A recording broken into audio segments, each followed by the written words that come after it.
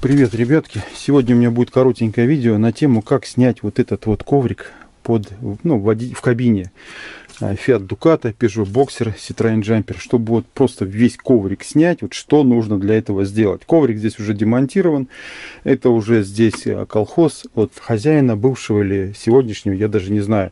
Вот давайте сейчас, вот я сейчас просто вам по пунктам расскажу, что нужно снять для того, чтобы отсюда этот достать коврик, чтобы можно было посушить его летом, например, а почистить его, да, там можно его керхером помыть и все в этом духе. Значит, что нам для этого надо? В первую очередь нам нужно снять порожки, снять вот эти нижние, вот здесь вот пластик.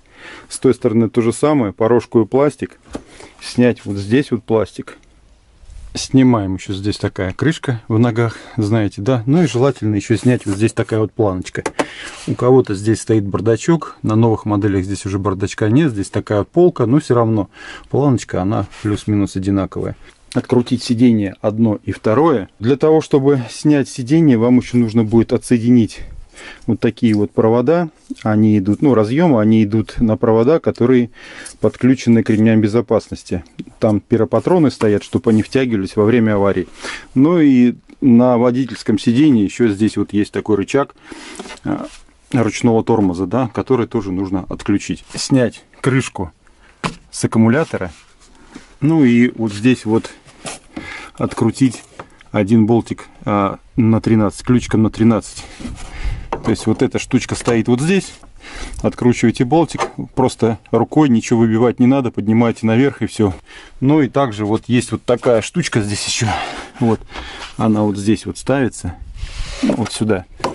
То есть вы ее, прежде чем снять коврик, снимаете, а потом вынимаете коврик. Ну и также коврик, когда сюда кладете, потом эту штучку ставите и уже одеваете эту штуку и закручиваете. В принципе, ничего сложного здесь нет. Разберется любой начинающий строитель автодомов. Так что дерзайте, все в ваших руках.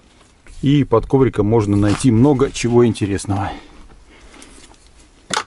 Вот на моей машине э, Peugeot Boxer э, очень сыро было под ковром. Вот здесь эта машина у нас более-менее сухая. Видите, даже вся краска здесь оригинальная, все сохранилось. На моей машине вот эта краска начала вся шелушиться уже от сырости, потому что коврик был пропитан водой. Вот машина была как бы рабочая, никто за ней не следил, а коврик был полностью пропитан, и э, краска уже начала шелушиться, и под краской уже начал цинк окисляться.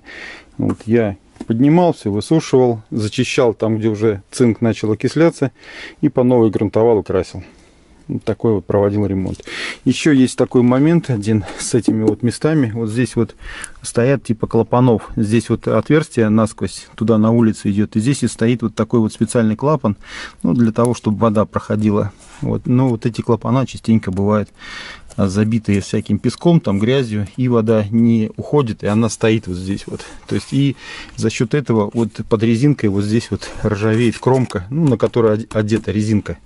Вот, то есть вот это, вот эта кромка, вот эта кромка здесь вот внизу начинает здорово ржаветь, то есть в нее начинает лезть влага, и она оттуда ржавчина прет. Так что вот если будете снимать, если у вас здесь будет стоять вода, то обязательно обратите внимание на эти вот места, где стоит этот клапан. Если он грязный, то продуйте, прочистите, ну и сделайте, чтобы у вас э, вода уходила, если что. Надеюсь, что вам это видео было полезным.